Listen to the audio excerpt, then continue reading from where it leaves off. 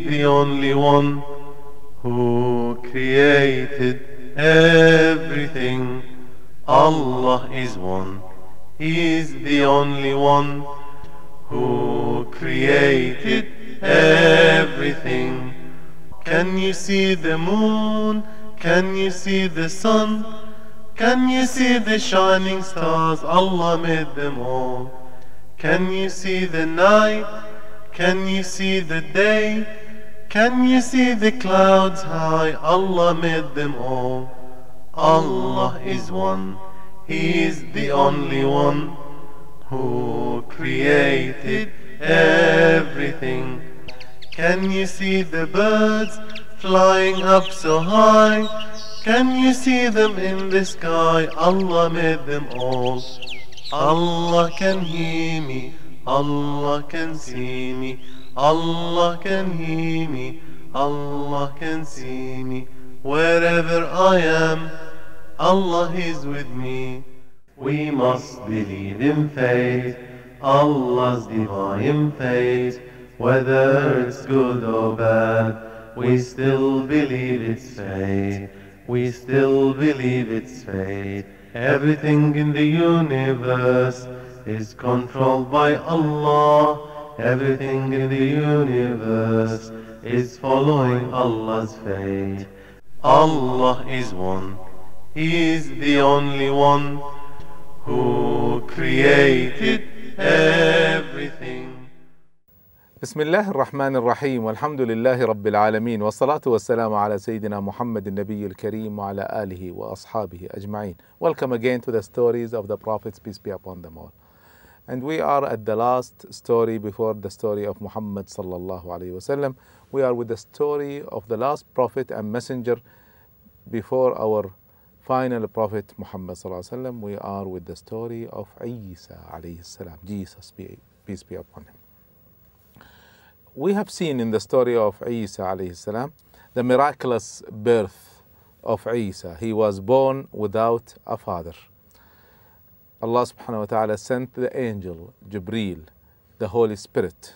That's where the Christians went wrong. They thought the Holy Spirit was, was God or part of God or another God or three in one, whatever. He is only an angel named by Allah subhanahu wa ta'ala as the Holy Spirit or Jibreel, Gabriel he came in a human form and blew into Maryam and she became pregnant whilst she was still virgin. She was pregnant and virgin at the same time. That is a miracle. Some people uh, question that, especially the Jews, and I wonder how would Christians become so close to the Jews while they accuse Mary of adultery, they refuse the prophethood or the the greatness of Jesus saying that he is a liar, how could the Christians accept such people?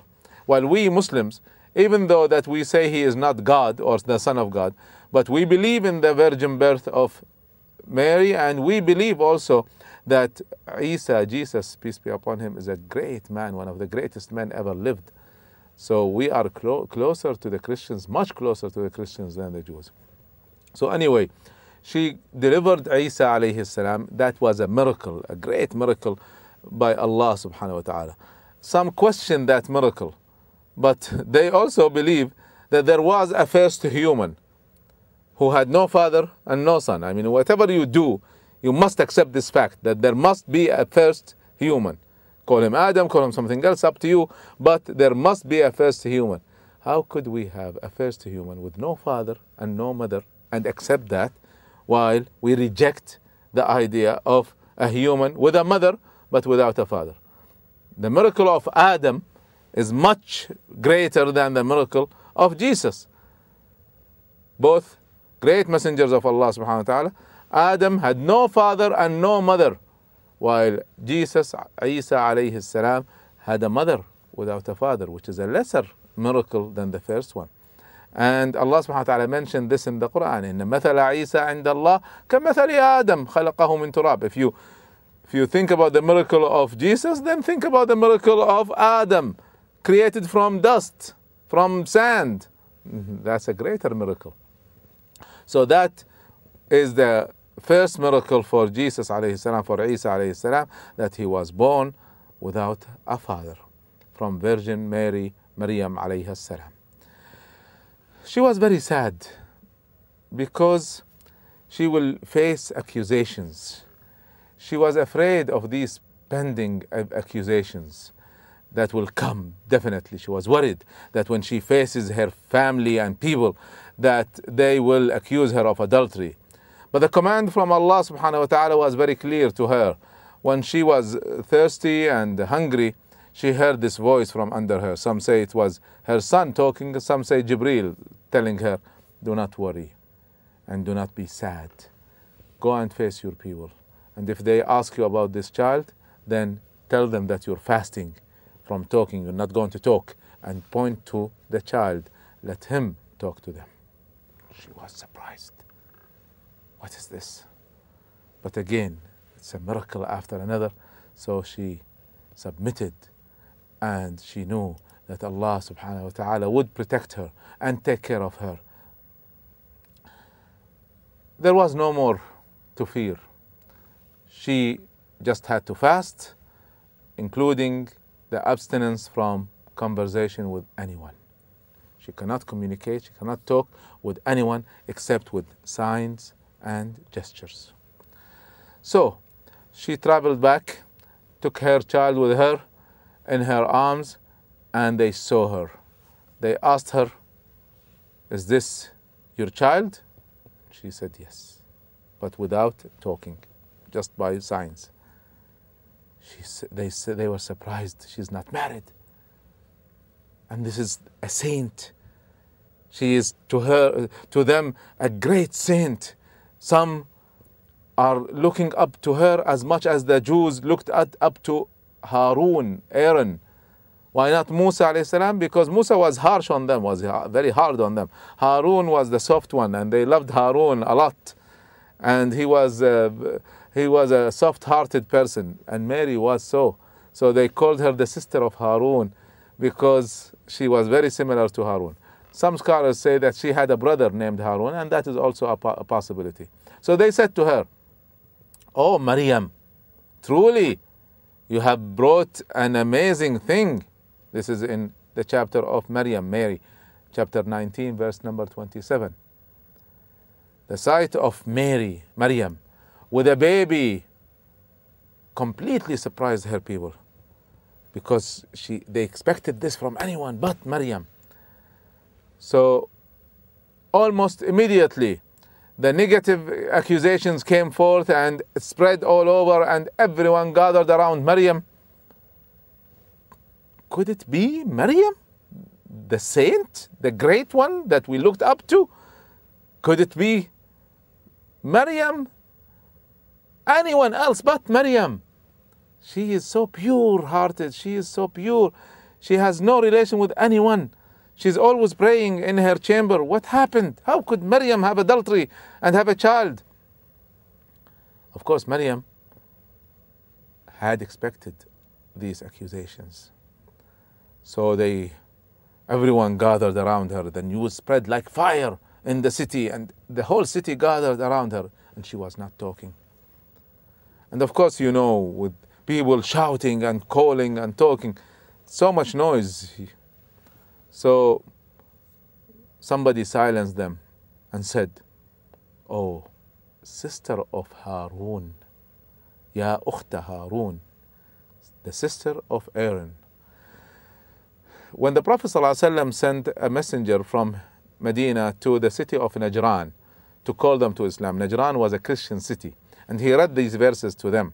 And they said to this messenger of the messenger of Allah, they said to him, How could you say that she is the sister of Harun while she lived centuries after Harun? And he didn't know. So he went back to the Prophet and he said, They asked me this. He said, Didn't you know that they called their themselves or their people? They named themselves after their prophets. There are many people called Harun, not only the Prophet Harun. So that gives the possibility that she has a brother, and that is the interpretation of a lot of our scholars.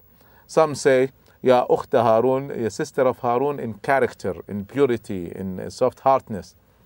So, anyway, They said, O sister of Harun, your father was not a man of evil, and your mother was not, was not uh, unchaste, she was pure.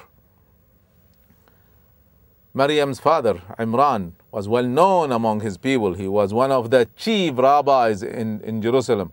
Um, he, her mother was also a very righteous woman, God fearing, very well known, a great family, very religious family, known to everyone. So it was said to her, How did you beget a baby while we know you are not lawfully married? They, they could not only they could not they could only think the unthinkable possibility, and and that's reasonable because well, how could it happen? They didn't th- think about a, a miracle, so they thought that, that she had adultery. This was, of course, uh, prohibited and a great sin, a, a, a grave sin in all religions, not only Judaism, but all religions prohibit adultery and considered it uh, as uh, one of the worst sins. So she she had a adultery and now she has a baby. That is something that to them was the worst that she can do. Their hearts were broken. The one that she they look up to is not pure.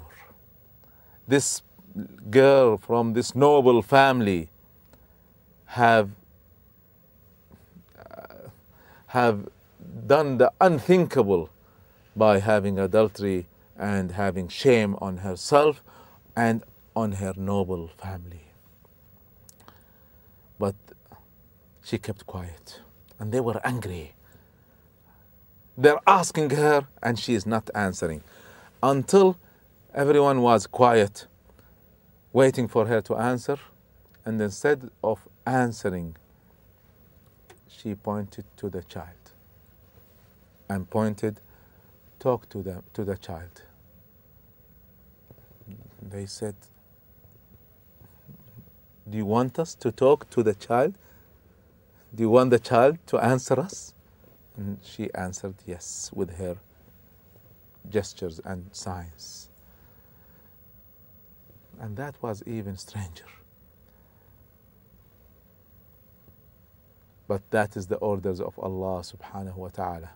Just point to the child, let him talk to them. So they understood her sign, but uh, totally yani, surprised. What, uh, what is she saying? What, is, what does she want? They said, How can we talk to a, a one who is a child in a cradle? And now comes another miracle. Isa alayhi Jesus, peace be upon him, said, I am indeed a servant of Allah. Now, people were talking, so everyone quieted each other. Listen, the child is talking. And everyone was quiet, paying attention. And he said, Inni Abdullah. That's the first thing he said. I am the slave, I am the servant of Allah. The first thing Jesus salam said was that he is not God, he is not the Son of God, he is a servant, he is a slave of God. And then he continued, He has given me revelation and made me a prophet. Now, this is a child just born. But that is a great miracle of Allah subhanahu wa ta'ala who can do anything, subhanahu. A child, a few days old only, now talking, and everyone listens. What does he say? I am a slave, I'm a servant of Allah, I'm not God. Allah has given me revelation, given me the scriptures. آتاني الكتاب وجعلني نبيا made me a prophet وجعلني مباركا أينما كنت he has blessed me wherever I go and has enjoined on me prayer and charity as long as I live. He has made me kind to my mother and not overbearing or miserable. So peace be upon me on the day I was born, and the day I shall die, and the day I shall be raised up to life again. This is chapter Mary, Maryam, chapter 19, verses 30 to 33. So the baby boy has spoken. He was barely few days old, but he had uttered those words in perfect sentences that were comprehended, understood by everyone who was present. They saw the miracle and they saw that Maryam was pure and that Allah subhanahu wa ta'ala has sent them a new messenger, a new prophet. Now, at that time, of course, Zachariah was their prophet, and Yahya was born already three months old, but he was not a prophet yet. So, Jesus salam became a prophet before Yahya, but he continued to live after Yahya. So he is the last prophet to live before Muhammad sallallahu alayhi wasallam. So he spoke with a very clear voice, very clear words, and people realized that this baby boy was a new miracle sent from Allah subhanahu wa ta'ala. يقول الله Allah subhanahu wa ta'ala says such was Isa Jesus the son of Mary it is a statement of truth. This is what happened. He was not God. He was not the son of God. This is the statement of, of truth about which they vainly disputed. Later on Christianity went astray. Few centuries after Jesus, they added to the scriptures few words that would say that he is God. But none of them, if you go to the Bible itself, you will not see Jesus saying that I am the Son of God. You will see others saying that he is the Son of God. Others who wrote later on and changed the, the, the Bible later on. But he never said I am the Son of God. Yes, he has said, We are the children of God, meaning that God provides for us. And this is also said by the Prophet Muhammad sallallahu The word عيال people are iyalullah. The word عيال has two meanings. It means children, but it means dependence. So apparently they translated dependent as children. He never said, I am a child of God. He never said, I am the son of God. So it, it, it, it does not fit the greatness of His Majesty Allah subhanahu wa ta'ala to get a son. And if they prove it to us, this is in the Quran.